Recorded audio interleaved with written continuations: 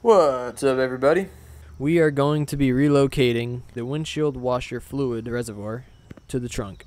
this is a pretty straightforward. It shouldn't take any longer than an hour. You're going to need about 12 feet of hose. I would say 8 millimeter hose or maybe like a quarter inch hose, um, somewhere around there. But I know that RallySport Direct sells vacuum hosing that you could probably use um, for wires. I would recommend 24 feet of wire because, you know, you're going to need two wires. You have the ground and you have the hot. You're going to need some cable cutters. You're going to need some wire strippers.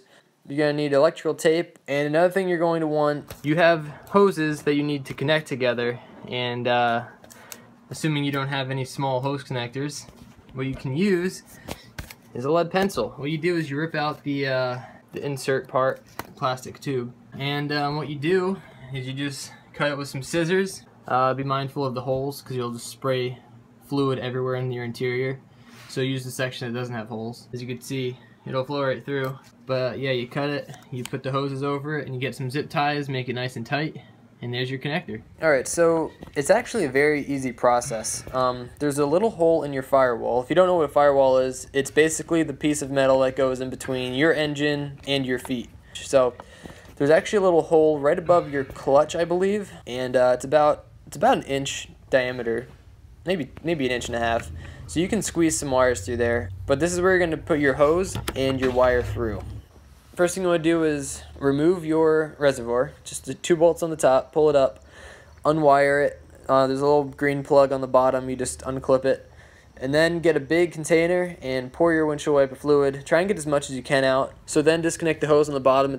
So you're going to get your hose, you're going to get the hose connector that you made. Once you hook your 12 foot hose up to the existing hose that was there, you're going to route that through the firewall and uh, you're going to route it down around your dead pedal, which is where your foot rests. And then you're going to see four hoses. Those are your fuel line. Yes, route it so that you're not pinching it. Um, you're going to have to peel away the plastic. It's easy. And then just pull the carpet back. So yeah, route it behind the seatbelt in between the seat and the B pillar. So then you want to peel away the trim on the rear door area. You're going to have to unbolt the one seat and uh, lift it up. And then you're going to have to unbolt the, uh, the backrest part of the seat. Lift that up. And then, well, route your tube through there. And again, make sure you're not pinching the tube. Next up is wiring. And uh, you're going to cut the green cable. I'd say give yourself about two inches of play from the green cable uh, to where you cut so that way you can strip it and rewire it. And then once you have the wires wired into your original harness, get the connector that you cut off and make sure you set the polarities upright, you know, ground to ground, hot to hot, and uh, rewire them up there. So now you're going to have a 12 foot long wire with the green connector all the way at the other end and your harness all the way back in your engine bay.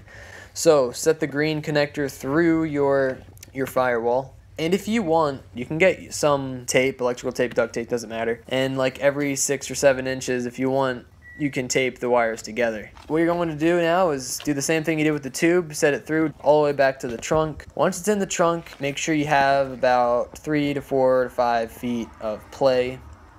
That way you can mount the reservoir wherever you like and uh, be able to tuck the wires. Okay, so now you have the wire with the green connector at the end and you have the hose sitting in your trunk. Now what you're going to want to do is get your reservoir. Um, you can get creative here, but um, find a mounting point, um, get a drill, get some zip ties. You don't have to be crazy with mounting it. So now it's nice and secure. I, I recommend putting the hose on first, if, um, and then wire it, and you should be good. Yeah, so fill it up, start up the car, and press the button and see what happens. It should work.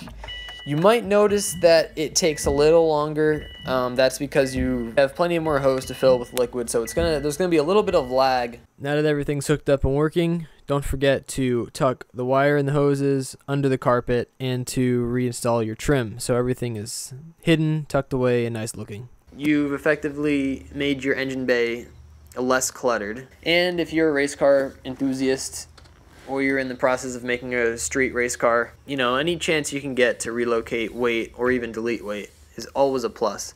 So yeah, next up I'm going to relocate the battery. But for now, the reservoir is in the back. I now have more room around my fuel area in the engine bay and valve cover area. So um, yeah, win-win. It's awesome.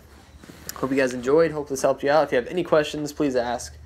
If you have any uh, two cents to throw in, please do. And I'll see you guys in the next chapter. Peace out.